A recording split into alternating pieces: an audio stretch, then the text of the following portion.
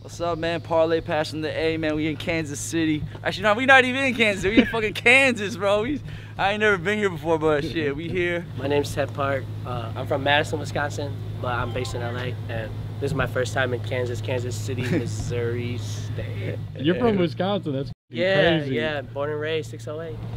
I mean, we're definitely not like K-pop artists, but we are like Korean artists. So Yeah. like, you know, um, we're not like out there like, oh, that's not K-pop. But uh, Yeah. shout out to K-pop though, man. BTS, Blackpink doing their thing. Yeah, I fuck with Korean hip hop. Korean hip hop's dope. I mean, there's a lot of dope Korean hip hop artists, and like we're Korean, so we're Yeah. under the same genre as K-hip hop. And a lot of our friends are artists in Korea that are doing well, that are in K-hip hop. I feel like Yeah. for us, like, we're Korean American artists, like, we're American artists that are also Korean, and we want to kind of like be the bridge and like bring our own sauce to both America, Yeah. Korea, and the rest of the world, you know?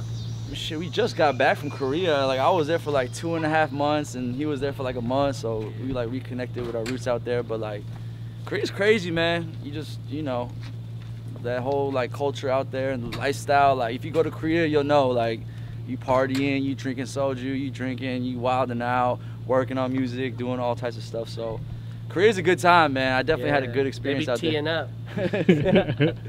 yeah, they be getting turned out there. So it was it was a lot of fun, man. So I love going out there for a little bit. You know what I uh, mean? K-pop doesn't get a lot of radio play per se, even though it's a huge thing right now, right? But we actually had the number one song on 93.1 Jams in Madison, most requested song, first ever number one from a local artist. So even though I don't live in Madison no more, that's my home forever. So we're super blessed for that. Shouts to DJ Fusion, shouts to 931 Jams. Yes, sir. God did. Did you know that KKFI has a K pop show? It's Hallyu Wednesdays from 7 to 9 with Emma, Megan, and Trish. Why not listen in? I have been doing the 2 a.m. slot once a month for the last four months. Again, just because I love the music, it's important to get it out when it first drops. And then I had learned when I was in training, I started monitoring when new songs come. When do they typically get pushed out on commercial radio? And I noticed the Western influence versus anything that was not Western. Those individuals that were not Western artists, it was sometimes on average three months before their song would even come out on air. Mm-hmm. And yet, if it was a Western artist, even collaborating with a Asian artist, that song would be out within two days or three days. A good example is Bad Decisions with Snoop Dogg in it, BTS mm. and Benny, was out within two days of dropping. We don't want to misrepresent. We don't try to present information that we don't have background on. We don't try to present words that we can't pronounce. So we actually have, as I said, a translator that works with us. We find a lot of people just here, they're in love with an idol or two or three or this group or that group a lot of people in our community i love they don't just stand one group. They're, they're, they- like very is coming here. We're going to go support them they're not as large as like Monsta X or ATEEZ or stray kids but we're going to support them because they're coming to our communities. They're coming to lawrence but we will go and support them. People will drive from leavenworth people drive from topeka people drive from springfield to come to us.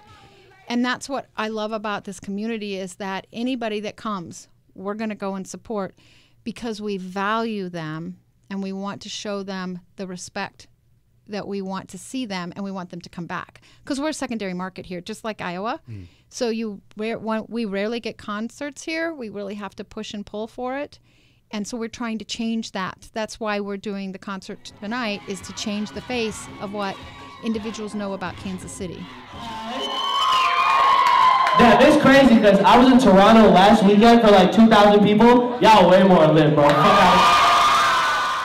You know, just because culturally, when I'm around other Asian people that I grew up with, the fact that I'm a rapper is like crazy to them. I've actually never, before this show, I've never performed with another Asian artist.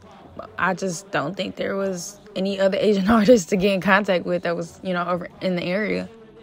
It was honestly a culture shock for me personally, you know, because I'm usually the culture shock, but just to be around other culture shocks was super dope. And seeing and hearing about how like their family supports them and pushes them with this music stuff, it, it was great. I've never experienced that before.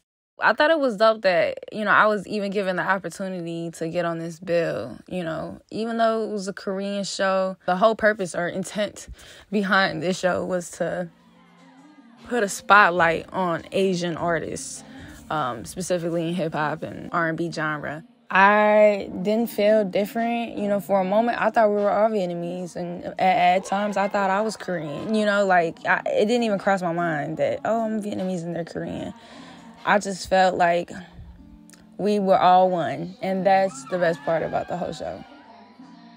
But how cool is that? You know, music and music culture has progressed so much. Like, we we in the Midwest, we in the heart of Kansas, about to do a Korean representing Korean hip hop. Like, that's so cool.